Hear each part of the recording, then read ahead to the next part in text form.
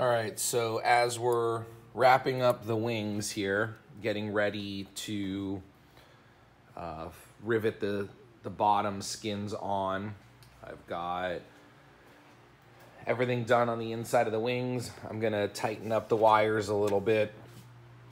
This skin has been um, fully cleaned up and dimpled. This one, obviously, not yet. There's a little bit of overlapping against the leading edge and the fuel tank. That's where I made these marks. So I'm gonna just have to file those down a bit and then I'll work on this skin. But the local EAA technical advisor is coming over this afternoon. Um, for no particular reason, just wanted a second set of eyes on the inside of the wings, check my linkages, check everything, just make sure he's happy with my wiring and everything before we button this guy up because that's just hard to fix later. So the last thing I need to do before he comes over later is get the um, aileron trim servo mounted. So basically the trim servo mounts to the access plate. I've mounted the access plate to the wing you mark a center line. I don't know if you can see it or not. Eh, you can kind of see it there. You mark a center line of the control horn. And then these guys get installed six inches to either direction of the center line. So basically something like that. Like this goes, this goes on there. And then the spring, oop, ah, the spring will stretch out and connect. So then this can travel in either direction. And I just realized, it's a good thing I'm doing this now, I just realized I marked it without the aileron in the center position, which would have been absolutely terrible. So now I'm going to redo that, put the aileron in its neutral position, and then remark my push rod before I drill holes for those. So, cool. See? Take your time. It's so easy to make mistakes. It is so easy to make mistakes. I'm so glad I caught that. Uh, I'll update you later.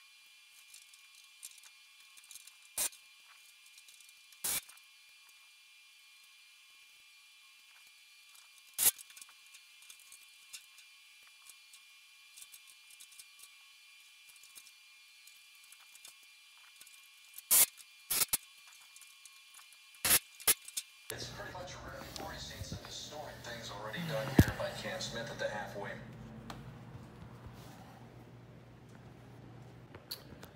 Okay, well, first rivet of the morning. This is my biggest fear with these big skins is if you make a mistake, how do you fix it? So somehow my bucking bar must have slipped off my rivet and I pounded into my bucking bar. And it's it's through the skin. So I'm going to well, I'm going to double check, but I think it's all the way through. So I'm going to have to drill that. I think what I'm going to do is I'm going to drill that hole to stop it. Dimple it. I'll have to use a pull the pull rivet dimpler and then put a rivet through the hole. It's not a big deal. It's just, you know, we all strive for perfection and perfection is unattainable. It's in a spot where no one will notice it, but man, that makes me angry. All right, I'll show you the fix.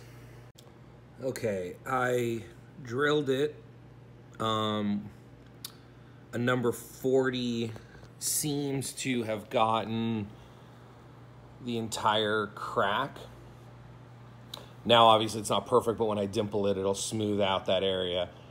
But I don't see, I'm going to deburr the hole now, but I don't see any more of the crack. So I stop the crack, and then um, I'm going to dimple the hole, and then uh, put a rivet in there. Well, like everything, it is fixable. Um, I mean, while we're here, I might as well just show you. I mean, listen, I'm I'm not in love with what's happening on this bottom skin. I'm not polishing the airplane. I'm going to paint it, so some of these surface scratches I don't care about. I need to put some new tape on my um I can see the tape has worn off on there. But um so all I did was exactly what I said. I drilled it out. I thought I was going to have to drill to a number 30 hole. I didn't. I was able to use a number 40 hole. And then um, I used these guys, the tight rivets, where you, if you've never seen these before, you basically, here's the female side. And then that goes through the skin. Here's the male side.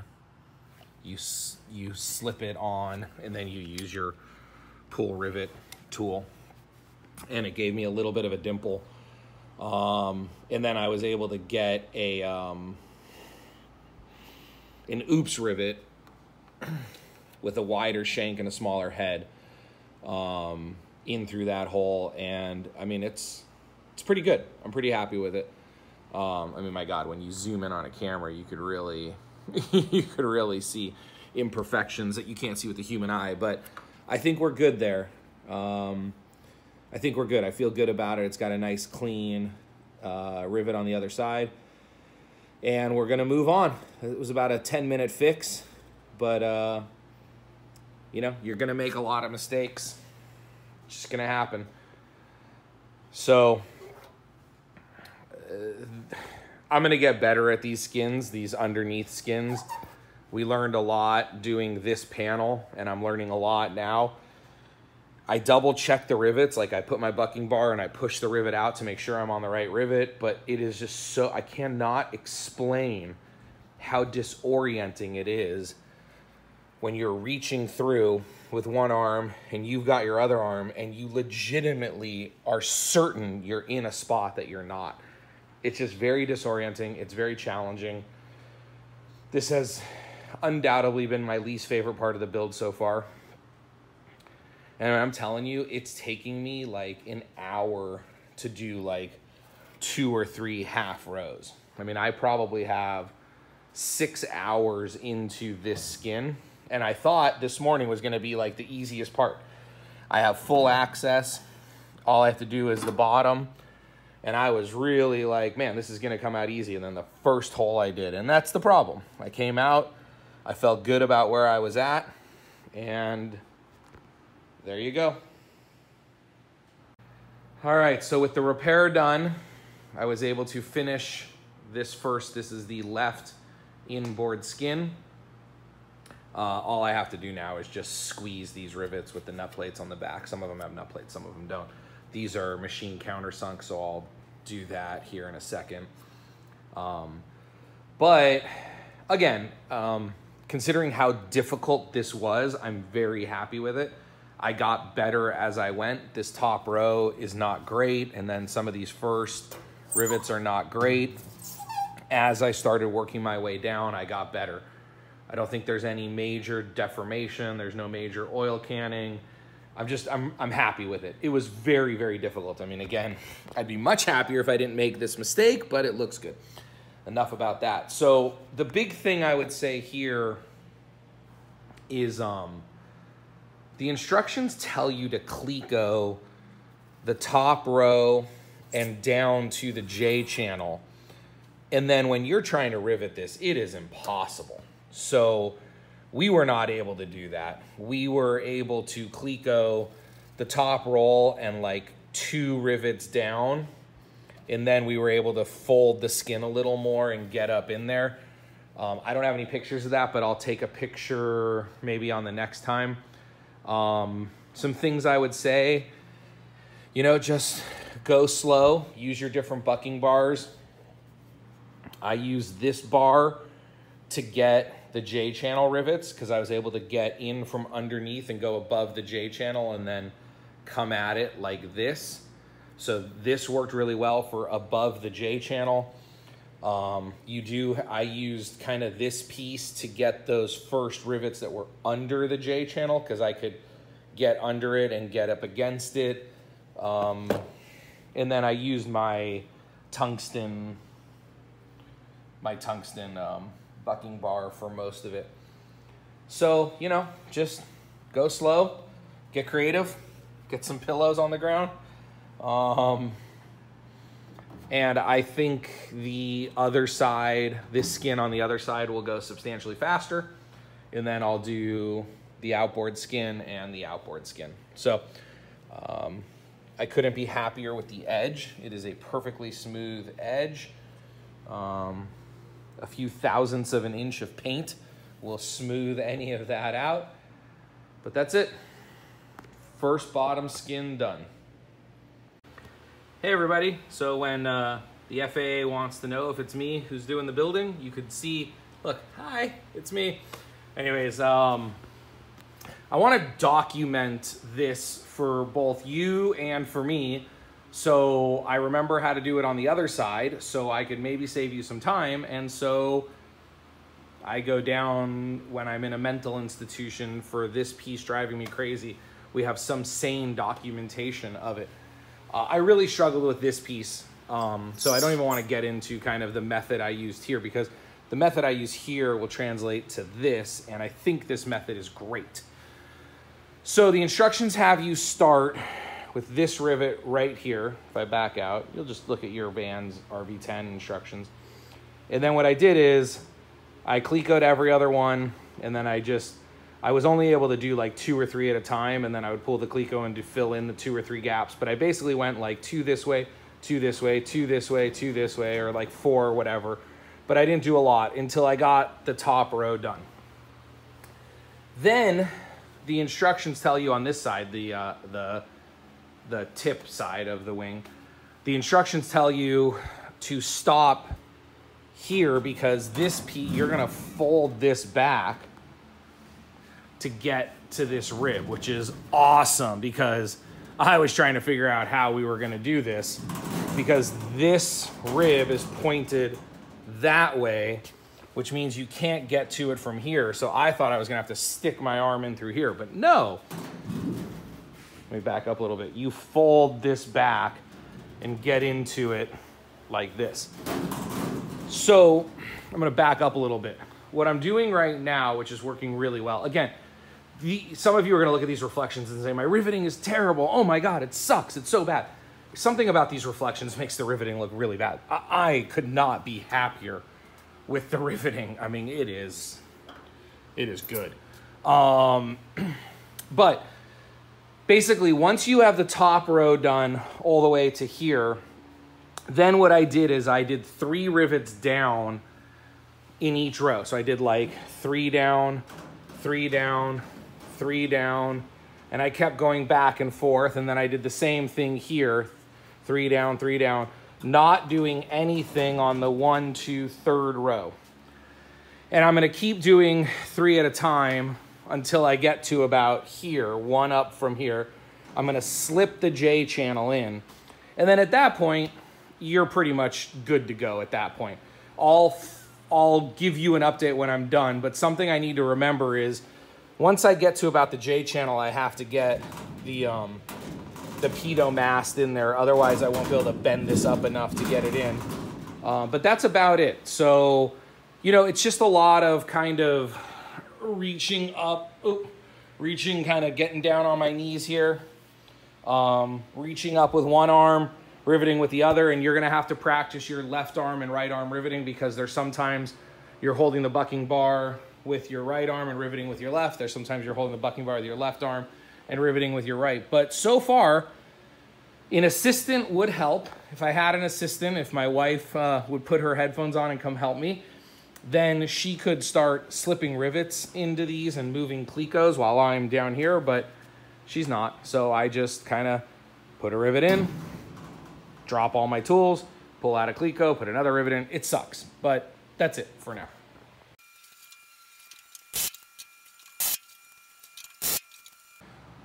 Okay, so the first bottom skin is done. Every rivet in place. This was just as challenging and difficult and frustrating as you would expect it to be, but it's done. It's possible. You can do it alone. I did every single rivet on here except for like the first five or 10 when we were trying to figure it out. I had a friend over, but then when he left, I didn't need it. I You can do every single one of these rivets alone. You're gonna want help. if you have someone there to hand you tools, you don't have to stand up as much. But as you can see in the video, I'm showing you here when you reach around, you can do it alone. Now, for my memory banks, in case I build another one of these, and for your uh, help, everything was fine until I got here. Now, like I said in the previous video, you fold this back to get to here. Easy, easy, no problem at all. Then I made a mistake. I was enjoying the bottom rivets because they were so easy to do because I have this big opening right here. My plan was to kind of do like one, one, one, one, one, one. Sorry, like that. So I could keep getting to it. But I was getting bored with that. So I did like three at a time and then like three at a time. And then I did like three. But then instead of going back up here, I did three more. And then I started to get myself into a sticky situation. These top rivets are tough to do. So my suggestion is get this row done, super easy. Then kind of work your way this way while you can still fold this guy back. Then this and this is easy because the holes are so big versus this tiny little hole right here. Plus I put a tube in it, which makes it even smaller. Then you kind of do the same thing. Then you kind of do this row, and then top row, middle row, bottom row is the easiest. This row is like these couple of rivets right here because they're on the inside. Like it's really hard to hold the bucking bar, uh, but you can do it. I did it. A lot of people online said grab yourself some uh, pull rivets because there's spots that you can't get to and you're going to want pull rivets. And you know what? Um, I just saw, shoot. You can see it didn't poke through the skin at all, but man, everything looks worse on camera, but it is a little dent. The paint will hide that. Uh, you know, if you if you want to buy yourself some some pull rivets, um, some fours and maybe some fives. Um, there are some spots like like right here. That rivet took me about 20 minutes to figure out how to do. These couple took me about 10, 15 minutes each. So yeah, if you don't mind having a pull rivet right there, right there, right there, right there, yeah, yeah. These are hard to get to, um, but that's it. Bottom skin's done. Uh, next is this side. So we'll start working on that. This won't be nearly as hard, but it's daunting because in my head I feel like I've accomplished something and now I have to go back and do it again. All right, gonna clean up the shop, spend the weekend with my kid, and we'll get back at it next week. Bye-bye. Well, the deed is done. This is the right wing,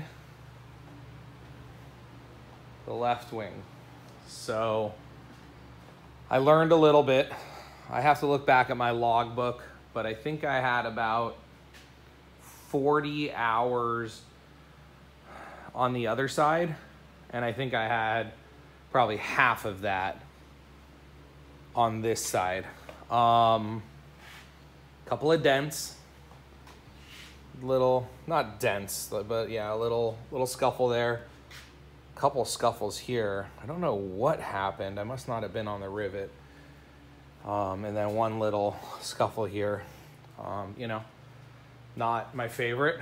I'm not proud of them, but it is what it is. But I will say, um, I had more than 40 hours. That I, I, I don't, I don't know. Maybe 50 on that side, 20, whatever. I did it in about half the time on this side. Um, but one of the big helps was this sort of last part. Again, this part isn't all that hard. It's just awkward. This part, this last two full bays gets hard you think it's easy because you pull this back, but what I learned from last time was work away from here. Um, you can get to these rivets later through here. So you want to do a few of them. But basically, I want to do most of this top row. Then come, no, what did we do? We did this part, yep, this row. Then as much of the top row as we can. Then come back to this because you could kind of reach in like that. Leave the bottom row until the end. Um, then do this top row, then work down, then work across, then work down, and then do the whole bottom row. That will be much easier, leaving this row for last. So, hope that helps. I'm gonna put the rigging back in, connect the electrical for the trim, and then do the wingtips. And then these wings are done and ready for storage. The fuse will be here in a couple weeks. All right, guys. Uh, I'll see you when the wingtips are done, or part of the wingtips.